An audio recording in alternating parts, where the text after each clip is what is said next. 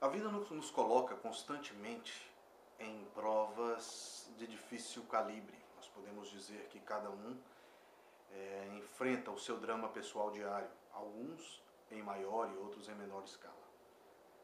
Quando eu digo que todo caminho é bom, é porque ele tem que ser bom para aquela pessoa que está caminhando. Ele não tem que ser bom para quem está observando ou para quem está procurando estabelecer um raciocínio a partir de um ponto de vista apaixonado. A paixão, como eu sempre digo, ela é um pouco perigosa, porque ela estabelece uma condição apenas de você ver aquilo que os seus olhos querem enxergar. Nós falamos muito em livre-arbítrio, muito bem. Mas o que vem a ser esse livre-arbítrio, sendo que muitas vezes você não conhece o outro lado? Livre-arbítrio é quando você conheceu e provou de duas verdades e tem a condição de escolher qualquer uma das duas sem ofender alguma das partes. Essa é uma liberdade muito importante se estabelecer. Então, quando nós não julgamos, quando falamos que todo caminho é bom, é porque nós acreditamos que em cada pessoa existe um tipo de sede, em cada pessoa existe uma necessidade de beber de um tipo de uma água diferente. Em cada conhecimento, em cada caminho, com cada mestre, né? cada pessoa vai ter um tipo de ensinamento que vai atender àquela necessidade que que ele reclama naquele momento que ele está buscando. Pode ser que esse tempo seja de um dia, de dois dias, de dez anos, de uma vida inteira. Dentro da minha humilde forma de entender a vida, eu acho que nós temos uma vida construída em ciclos. E cada ciclo nós escrevemos uma história diferente. Nós caminhamos por caminhos distintos e aprendemos verdades que vão nos trazer uma condição maior de entender qual a razão de tudo isso? Eu acho que o homem que não reflete, que não questiona, ele está ausente. E o princípio do questionamento, ele deve ser um questionamento imparcial. Ele deve ser um questionamento desperto, com a mente desperta, com as razões que naquele momento estabelece a sua maior necessidade. Princípio humano hoje, ele transita numa esfera muito difícil, que é uma esfera muito capital uma esfera onde o mundo é o que é e você só é o que é de acordo com aquilo que você pode oferecer. Nós transitamos muito pelo que procó, ou seja, é, você vale quanto pesa, é, a eterna relação de troca. E isso gera um eterno descontentamento, porque, claro, a vida não sorri da mesma forma para todos nós.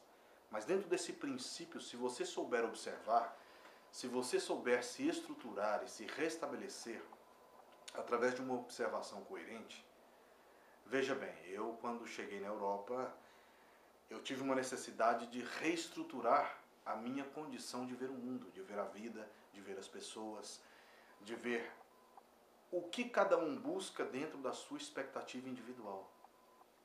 E vi que em todos existe uma busca, existe uma fome, existe uma ânsia por encontrar alguma coisa. Como eu posso oferecer o pão àquele que está querendo comer carne? É impossível.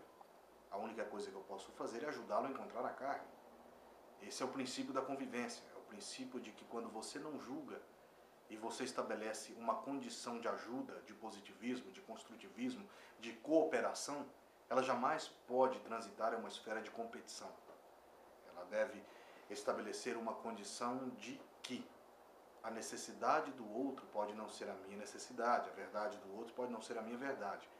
Mas essas duas verdades juntas, elas podem construir através de uma cooperação algo melhor, algo maior, algo necessário a todos naquele momento, porque sempre existe um ponto de comunhão, sempre existe um ponto onde os caminhos se cruzam e os interesses favorecem a uma comunidade como um todo. Então, se nós analisarmos o porquê dentro dessa busca cada um de nós se encontra, talvez em alguns casos, é, é, em um instante que podemos dizer infeliz, talvez a grande resposta esteja em primeiro procurar entender o que que você busca. Por que tentamos sempre comprar o que é do outro? Por que esquecer de olhar para si mesmo? Por que esquecer dessa estruturação naquilo que você tem? Eu costumo dizer a muitos alunos, né? Por que a grama do vizinho é mais verde? porque o carro dele é melhor, porque a casa dele é melhor. Ah, o princípio da aceitação, da, da busca por uma felicidade, ela começa primeiro entendendo o que você tem, aceitando o que você tem, trabalhando isso para que isso se torne melhor. Em todos nós existe uma matéria-prima muito valorosa. Depende de como você vai utilizar, que é um dos pontos da diferença entre o conhecimento e a sabedoria. A minha forma de entender, sabedoria é você utilizar bem aquilo que você possui. E tudo que foge a isso é conhecimento, é informação. Agora, como você vai utilizar essa informação e esse conhecimento é o que vai fazer a diferença na sua história, e na sua vida.